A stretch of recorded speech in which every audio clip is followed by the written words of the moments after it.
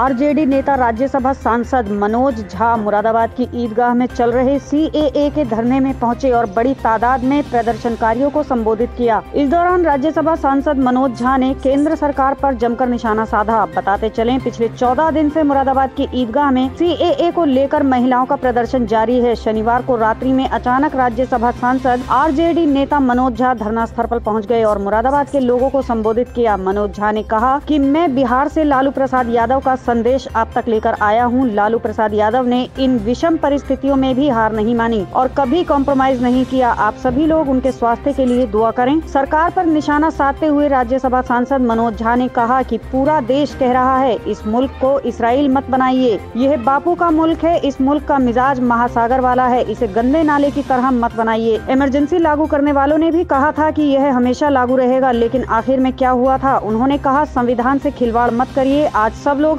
संविधान बचाने निकले हैं। नज़र पैदा करो कि ये कौन लोग हैं जिनको कभी आप कपड़ों से कहते हो पहचान लेंगे। अरे कैसे पहचान लोगे यार? हम तो उस मुल्क के हैं कि छाप तिलक सब छीनी रेतों से नैना के पहचानोगे तुम?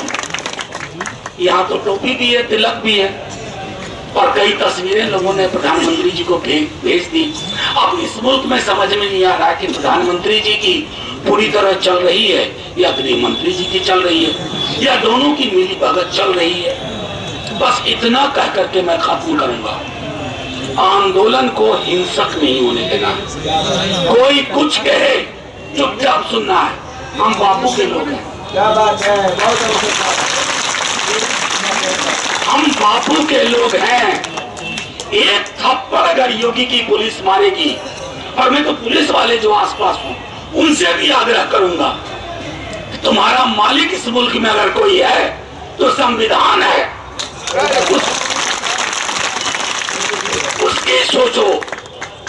अगर इस मुल्क में प्रणाम करने लायक कोई शख्स है तो बापू है। उसकी सोचो। कहा इन काले चश्मे वाले मठाधीशों के चक्कर में? बस इतना कह करके मैं मुरादाबाद पहली बार आया। बहुत बहुत स्वागत है आपका।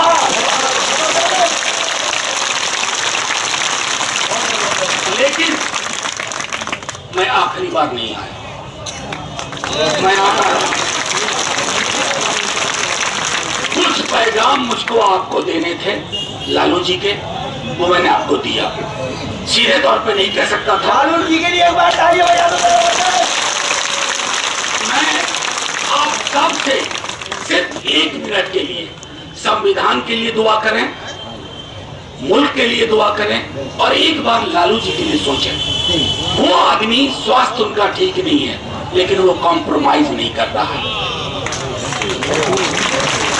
नज़र पीछे नहीं कर रहा उन्होंने मुझसे कहा फांस दो इनको, मेरा कर्ज है मेरे ऊपर इनका।